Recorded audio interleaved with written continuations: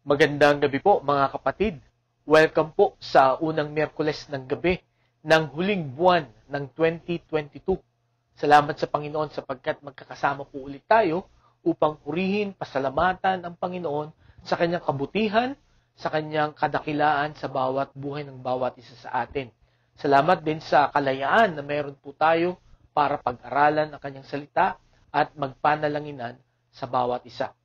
Ngayong gabi din po mga kapatid ay patuloy ko po kayong iniimbitahan sa atin pong uh, face-to-face worship service this coming Sunday, December 11, 2022. Ano po? At ito po ay gaganapin ulit dito po sa aming lugar. Ito po ang address, naka-flash sa screen. At pagkatapos din po ng ating uh, worship service, ay magkakaroon po tayo ng Christmas party. So nawa ang bawat isa po ay uh, makarating ano po, para sama-sama natin pong sambahin ng Panginoon, pasalamatan siya sa buong taon na kanyang uh, kabutihan sa atin at atin pong i-celebrate, alalahanin ang unang pagdating ng Panginoong Heso Kristo dito po sa lupa. Kaya mga kapatid, kita-kita po tayo this coming Sunday, alas 10 ng umaga hanggang alauna ng hapon. Okay po? Atin na pong buksan ang ating mga Bibles sa Luke chapter 8, verses 22 to 25. Luke chapter 8, verses 22 to 25, ang sabi po dito, One day, Jesus said to His disciples, Let's go over to the other side of the lake. So they got into a boat and set out. As they sailed, he fell asleep. A squall came down on the lake so that the boat was being swamped and they were in great danger. The disciples went and woke him, saying, Master, Master, we're going to drown. He got up and rebuked the wind and the raging waters. The storm subsided and all was calm. Where is your faith? He asked his disciples. In fear and amazement, they asked one another, Who is this? He commands even the winds and the water, and they obey him. Pagpalain po ng Panginoon ang pagkabasa ng kanyang salita, tayo po'y manalangin. Panginoon, salamat po ulit sapagkat uh, may pagkakataon kami para magtipon-tipon, magpasalamat sa inyo, pag-aralan niyo yung salita at uh, magpanalanginan. Dalayan ko po sa bahaging ito ng amin pong uh, gawain ang pag-aaral ng inyong salita, kung paano mo kami kinakausap sa bawat pagkakataon na pag-aaralan namin ang inyong salita. Nawa sa gabing ito, muli mong ibukas ang puso't isipan namin upang marinig ka namin, maunawaan namin yung salita at ito'y maisagawa namin, Panginoon. Samahan mo na kami sa aming pag-aaral. Ito ang aming dalangin sa pangalan ni Jesus. Amen. Kung kayo po ay uh, pinanganak ng uh, ah, 60s or 70s or 80s at kayo po ay uh, natuto na na maghulog sa bangko noong mga panahong iyon, marahil ay uh, isa kayo sa mga may bank account sa bangkong ito. Okay? Meron po kasing nakakainganyo na slogan ang bangkong ito. Ito ay subok na matibay, subok na matatag. At yan pong slogan na yan ng bangkong ito ay talagang nagbigay ng malaking encouragement po sa bawat isa na gustong mag-ipon at gusto pang tumubo ang kanilang mga pera na pinagtrabahuhan. Ano po? Dito po sa Bangko Pilipino. Ito po ay natatag noong 1964 ano po, ni Thomas Aguirre na may-ari po ng isang sikat na pawn shop. Ano po, at dahil po nga sa kanilang paraan ng pamamahala, ng bangkong ito at ng pera ng taong bayan na naguhulog dito ay ito po ay uh, mabilis na lumago. Ano po? At uh, after 10 years ay halos lahat po ng mga Pilipino na nagtatrabaho ay merong bank account sa Bangko Pilipino. Ngunit hindi nagtagal no po noong 1985 ito po ay pinasara ng BSP no na ang presidente pa noong panahong iyon ay si President Ferdinand Marcos Sr. No? Sa kadahilanan na sa pagdaan ng maraming panahon, no po, ay hindi na nila naayos ang pamamahala nito no at nalubog na sila sa utang. Ano po? Kaya naalala ko po noon, no po, ako po ay member ng Happy Savers Club. No? At naalala ko po noon na pumila po kami ng mahaba ng aking nanay para i-withdraw yung aking pong uh, naihulog doon sa bangkong yun. At napakatagal, no? mga limang oras kaming pumila para ma-withdraw yung pera na naihulog ko po. At uh, pagkalipas po ng siyam na taon ay muli pong nagbukas ang bangko na ito Ngunit hindi na po ito kasing lakas ng katulad ng dati sapagkat maraming mga investors na ang duda sa kanila. Kaya nung 2011, finally ito po ay nag-close at muli dahil po sa kaso ng mismanagement. No? At nung 2019, maging yung president po ng bangko na ito ay nagkaroon ng kaso no dahil nga po sa mismanagement. So mga kapatid, ngayon pong gabi, Marahil nagtataka tayo, ano? Napakaganda ng slogan ng bangkong ito, no? Subok na matibay, subok na matatag. Kaya lang, no? After few years, no? Yung slogan na yun ay hindi na totoo, no? Nasira na, no? Nanghina na, nawasak na at nawala na. At kasama ako ay hindi na naniniwala doon sa kanilang slogan. No po? Mga kapatid, kung tayo talaga ay uh, magtitiwala no sa ibang mga bagay no maliban sa Panginoon no kahit na maganda ang ating slogan no kahit na mukhang secured no yung ating pinanghahawakan maliban sa Panginoon darating ang panahon yan po ay masisira no po? Kaya nga ang advice po ni Apostol Pablo kay Timothy na ituro sa mga tao doon sa church ng Ephesus na makikita natin sa 1 Timothy chapter 4 verse 17 Command those who are rich in this present world not to be arrogant, nor to put their hope in wealth, which is so uncertain, but to put their hope in God, who richly provides us with everything for our own enjoyment.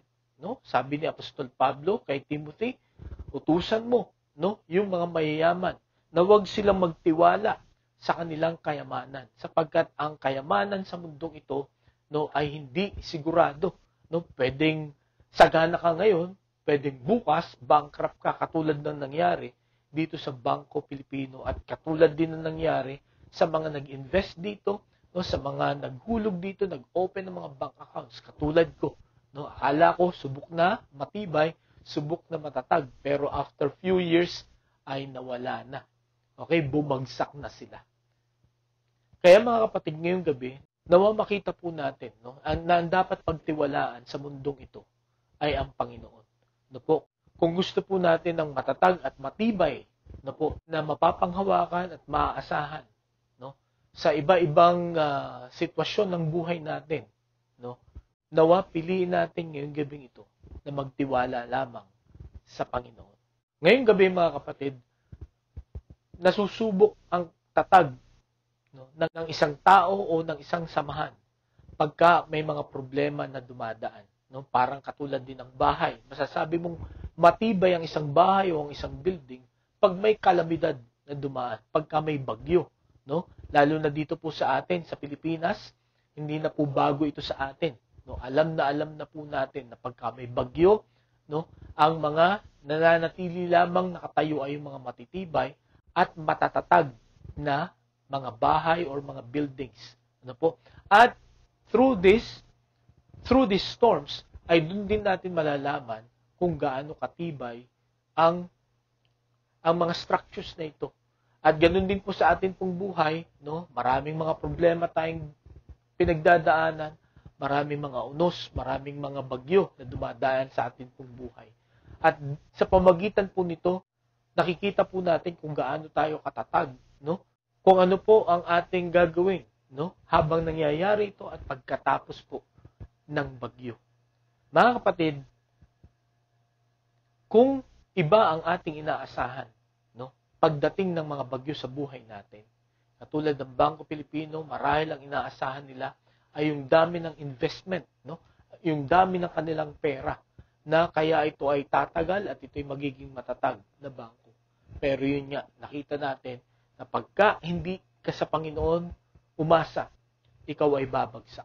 Pero ngayong gabi, mga kapatid, sa mga pagsubok sa buhay, sa mga bagyo ng buhay, nawa ay atin pong piliin na magtiwala sa Panginoon sapagkat doon lamang tayo magiging matibay at magiging matatag. Pinamagatan ko po ang ating mensahe ngayong gabi, pray to learn the lessons from storms. No? Pray to learn the lessons from storms. Ipanalangin po natin na matutunan natin ang mga leksyon no, or ang mga aral buhat sa mga bagyo. Okay? Sapagkat alam niyo po ang mga bagyo sa buhay natin, hindi lang yan dumadaan para sirain ang ating mga ang mga ari-arian, no? Ang ating mga ipinundar, no? Hindi lamang po yan dumadaan para guluhin or sirain yung mga inaakala natin na hindi kayang sirain. Ano po?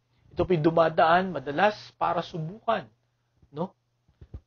Yun nga po kung gaano tayo katibay at kung gaano tayo katatag. At ito pong ating pag-uusapan ngayon pong gabi ay isang pangyayari no, sa buhay po ng Panginoong Heso Kristo at ng mga apostol no, nung sila ay tumawid sa Galilee kung ano po ang kanilang mga naranasan at kung ano ang itinuro sa kanila ng Panginoon no, sa pagtawid na ito.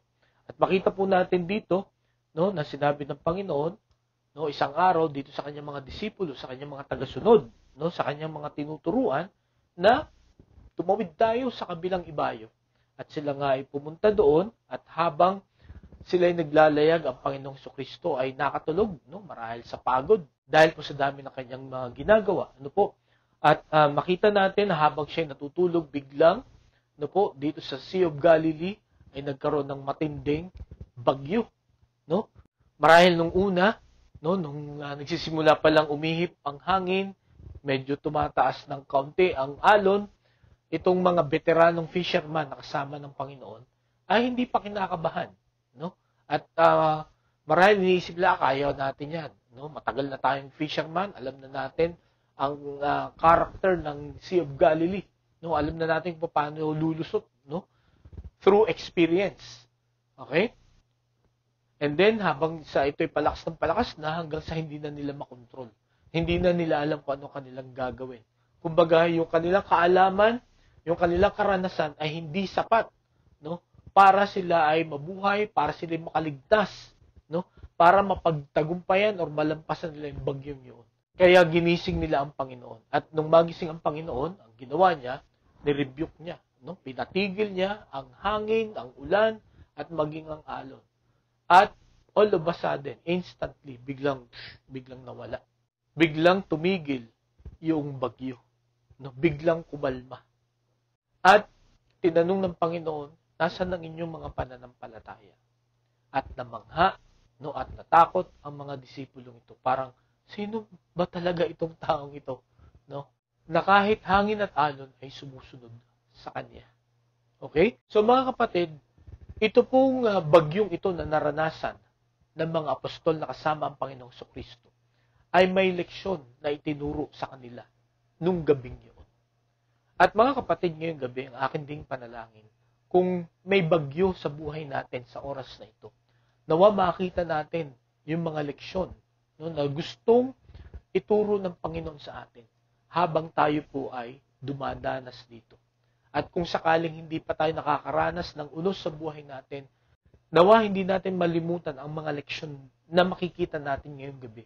Na pagka dumating sa atin yung mga unos na yun, maalala natin ito at ito po ang magbibigay sa atin ng katatagan at tibay, no? Para atin pong mapagtagumpayan, malampasan ang mga bagyo na dadaan po sa atin pong buhay. Ang unang leksyon na itinuro ng Panginoon sa mga disipulo niya, sa mga apostol niya, mga tagasunod niya, ay His presence, no? ang kanyang presensya.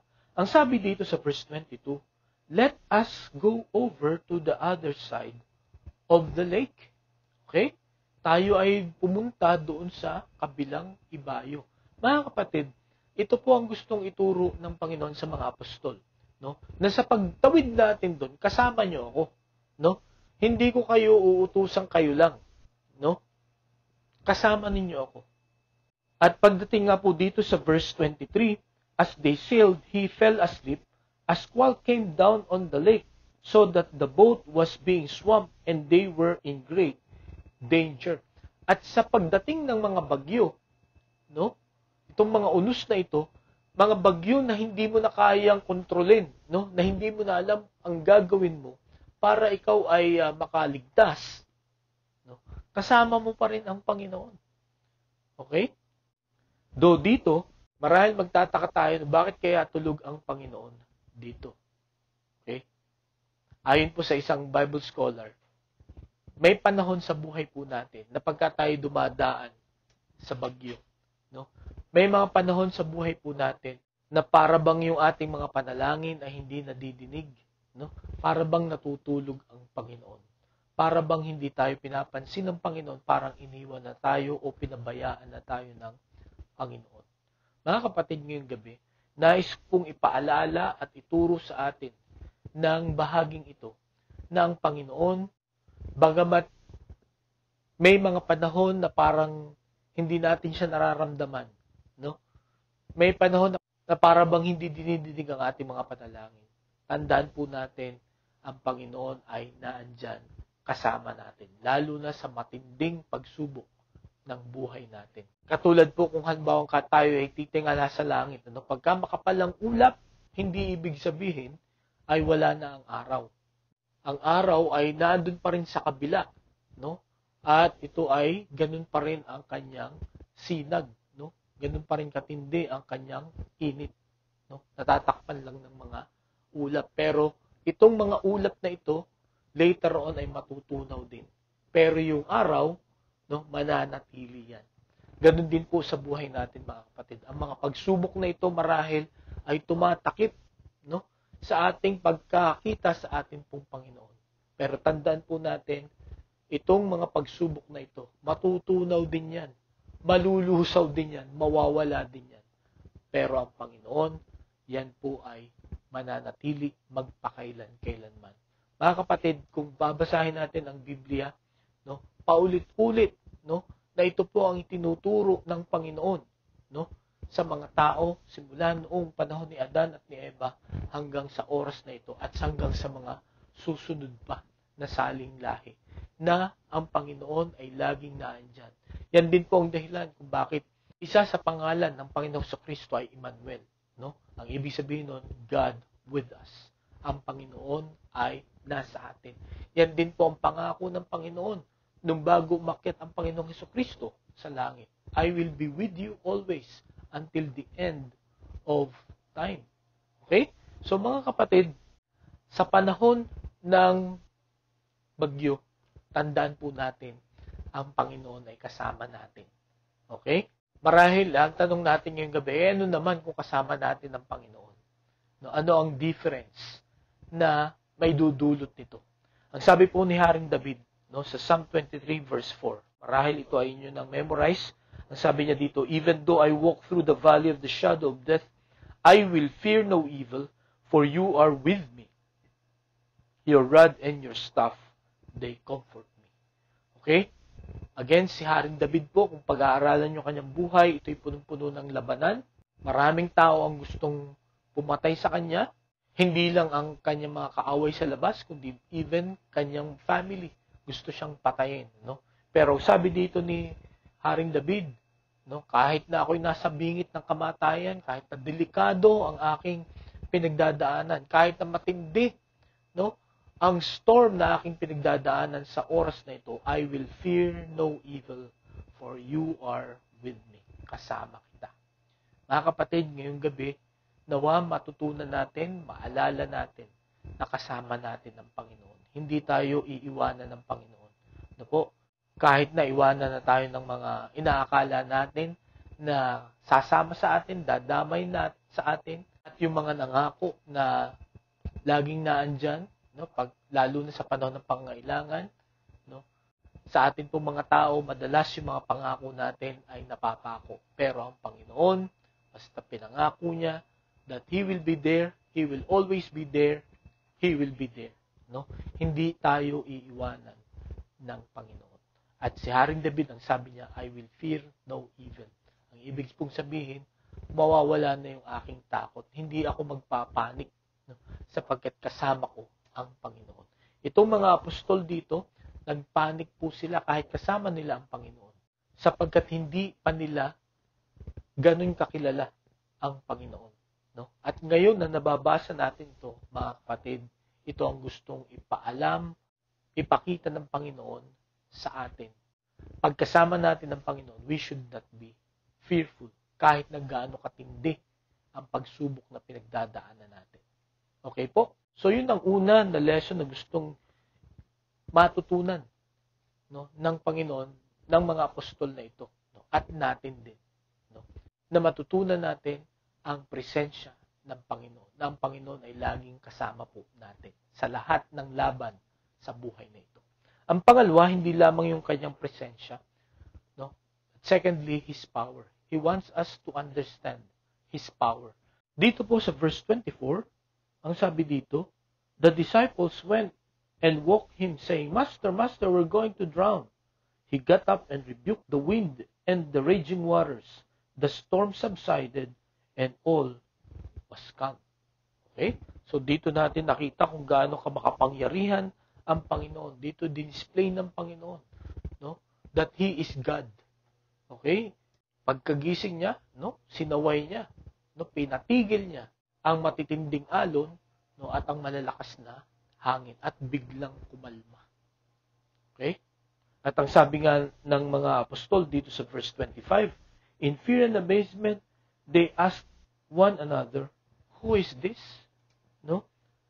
He commands even the winds and the water, and they obey him. Sino ito? No? Kakaiba ito. No, first time kong nakakita ng ganito. First time kong nabalitaan ito. Di ba?